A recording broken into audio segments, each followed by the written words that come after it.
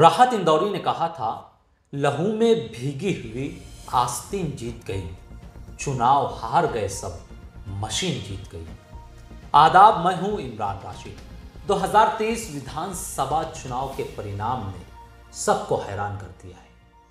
अगर हम ये कहें कि बीजेपी को भी हैरान कर दिया है तो शायद गलत नहीं होगा, क्योंकि छत्तीसगढ़ एक ऐसा राज्य जहाँ बीजेपी को खुद उम्मीद नहीं थी कि वो न सिर्फ़ ज़्यादा सीटों से, बल्कि भारी बहुमत से सत्ता बनाएगी बीजेपी को बिल्कुल उम्मीद नहीं थी कि उसकी इतनी ज़्यादा सीटें छत्तीसगढ़ में आ सकती है। यही वजह है कि बीजेपी ने छत्तीसगढ़ में ग्राउंड छोड़ दिया था। लेकिन जब रिज़ल्ट सामने आया तो बहुत शॉकिंग रिज़ल्ट हैरान कर दिया। बीजेपी ने भारी बहुमत हासिल की छत्तीसगढ़ में भी।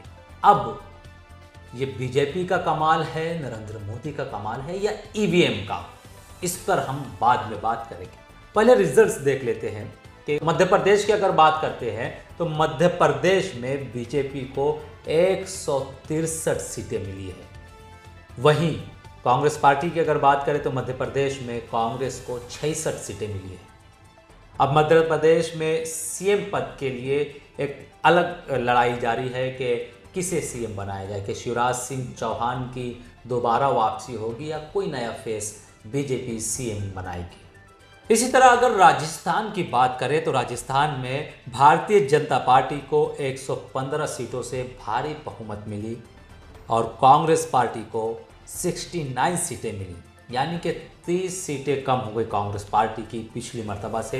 हालाँकि राजस्थान में कांग्रेस पार्टी की सरकार थी और ऐसा अनुमान था कि कांग्रेस की ही दोबारा सरकार आएगी।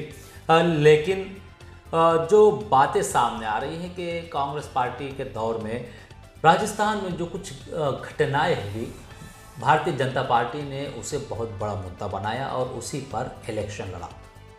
और इसके अलावा बीजेपी का ये रूल रहा है कि वो धर्म काट खेलती है और उसी पर अपना वोट मांगती है। तो बीजेपी के लिए ये भी जो है प्लस पॉइंट राजस्थान में साबित हुआ। अब बात करते हैं तेलंगाना की। तो तेलंगाना में इस बार कांग्रेस पार्टी ने बाजी मार ली। और अगर देखा जाए तो कांग्रेस पार्टी ने सबसे ज़्यादा मेहनत तेलंगाना में ही की थी। ऐसा लग रहा था कि तेलंगाना ही कांग्रेस का मेन टारगेट है। यही वजह है कि राहुल गांधी ने 26 रैलियाँ सबसे ज़्यादा रैली तेलंगाना में की। तो कितनी सीटें कांग्रेस पार्टी को मिली? तेलंगाना में देखते हैं, चौसठ सीटों से कांग्रेस पार्टी तेलंगाना में सरकार बना रही है। उसी तरह बीआरएस को ज़बरदस्त तरीके से तेलंगाना में नुकसान हुआ है। B R S thirty nine seat पर आ गई है, यानी कि forty nine seat B R S की कम हो गई है। इसी तरह मजलिस मुस्लिमीन की अगर बात करें तो जो पिछले मरतबा जितनी सीटें थी इस मरतबा भी मजलिस मुस्लिमीन की उतनी ही सीटें, यानी कि सात सीटों पर मजलिस को कामयाबी मिली है। बहरहाल तेलंगाना में कांग्रेस पार्टी सत्ता बना रही है, सरकार बना रही है। यानी कि एक स्टेट कांग्रेस पार्टी के हाथ से गया तो दूसरा स्टेट हाथ में आ गया राजस्थान गया तो तेलंगाना आ गया। तो थे 2023 विधानसभा चुनाव के परिणाम जो हमने आपको बताए, जिसमें भारतीय जनता पार्टी ने ज़बरदस्त तरीके से वापसी की है। अब विपक्ष की ओर से इसे ईवीएम का ही खेल बताया जा रहा है और ये पहली बार नहीं है, बल्कि हर चुनाव में बीजेपी को चैलेंज किया जाता है कि वो बिना ईवीएम के चुनाव लड़कर दिखाए। और शायद हो सकता है कि बगैर ईवीएम के बीजेपी सत्ता में ना आ सके। इस बात को लेकर शिवसेना के संजय राउत ने बड़ी टिप्पणी की है, मीडिया से बात की है, वो हम आपको बताएँगे, लेकिन उससे पहले चलते हैं कन्हैया कुमार की ओर। रिज़ल्ट के परिणाम सामने आते ही कन्हैया कुमार ट्वीट पर ट्वीट कर रहे हैं। अब कन्हैया कुमार की ये एक्टिविटी किस हद तक सही है? आप इसे किस तरह देखते हैं? आप कमेंट करके ज़रूर बताइएगा। लेकिन हम आपको बताते हैं कि कन्हैया कुमार क्या ट्वीट कर रहे हैं। कन्हैया कुमार ने ट्वीट करते हुए कहा एमपी राजस्थान और छत्तीसगढ़ में चुनाव लोकल नेतृत्व और लोकल चेहरे पर लड़ा गया था, जबकि तेलंगाना केंद्रीय नेतृत्व और केंद्रीय चेहरे पर लड़ा गया। मतलब साफ़ है, कांग्रेस और गांधी परिवार के प्रति लोगों का अभी भी भरोसा है। लोकल नेतृत्व को केंद्रीय नेतृत्व का सम्मान करना चाहिए। एक ट्वीट और किया कन्हैया कुमार ने, जिसमें उन्होंने कहा कि एमपी में जो भी हुआ, उसके लिए सिर्फ़ और सिर्फ़ कमलनाथ जिम्मेदार है। सिंधिया कांग्रेस से गए और बनी बनाई सरकार गिरी तो सिर्फ़ कमलनाथ की वजह से। इस बार जीती हुई लड़ाई हारे तो सिर्फ़ और सिर्फ़ कमलनाथ की वजह से। उनका अहंकार और केंद्रीय नेतृत्व को नज़रअंदाज करना मुख्य कारण रहा। यह है कन्हैया कुमार की टिप्पणी, चुनाव परिणाम के बाद। क्या इस तरह की टिप्पणी एक कार्यकर्ता को या पार्टी के एक जिम्मेदार को करना चाहिए।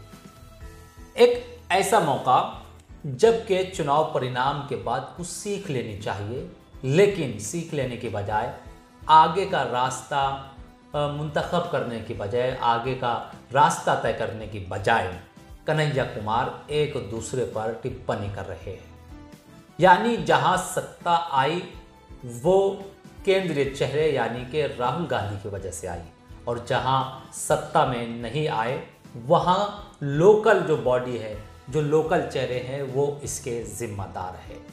क्या इस तरह की टिप्पणी करना सही है? आप कमेंट करके ज़रूर बताएँ कि कन्हैया कुमार के ये जो ट्वीट है, ये किस हद तक सही है या गलत है? आप इसे किस तरह देखते हैं?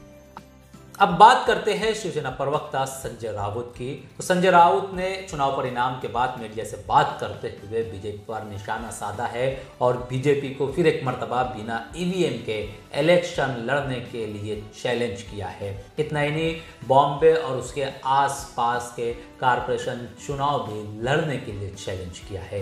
क्या कहा संजय राउत ने? देखिए ये वीडियो। देखिए, जनादेश की बात होती है। चार राज्यों में जनादेश आया है। तेलंगाना में अलग जनादेश है, तीन राज्यों में अलग है। बीजेपी को बड़ी जीत मिली है तो जनादेश का स्वागत करना चाहिए, चाहे जनादेश ईवीएम का हो या और कुछ हो। लेकिन मैं हमेशा, हम लोग हमेशा कहते हैं, लोगों के मन में शंका होती है, हमेशा। ये कैसा मुमकिन हो गया, खास करके मध्य प्रदेश में, छत्तीसगढ़ में। तो हम ये कहते कि अगर ये लोगों के मन में शंका है तो एक बार शंका दूर कर दीजिए। एक चुनाव आप बैलेट पेपर पर लीजिए ना एक चुनाव से। और लोगों के मन में जो शंका है दूर कर लीजिए। हम एक चुनाव की बात करते हैं। एक चुनाव बैलेट पेपर पर लीजिए।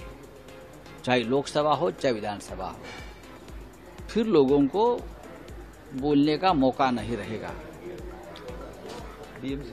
दूसरी बात है अभी आप जीत गए हो। अब की मैजिक चल गया है। विधानसभा चार राज्यों के। तो मुंबई महानगर पालिका और मुंबई के साथ चौदह महानगर पालिका हाँ चुनाव लेने की हिम्मत करिए ना। चाहे ईवीएम पर लीजिए, हम तैयार हैं। तो आज के लिए इतना ही। आप इस पूरे मामले को किस तरह देखते हैं? चुनाव परिणाम पर कन्हैया कुमार के ट्वीट पर और संजय राउत के इस बयान पर आपकी क्या राय है? आप क्या सोचते हैं? कमेंट कर ज़रूर बताएँ। हमें सपोर्ट करें, हमारे साथ जुड़े रहें और देखते रहें हम भारत।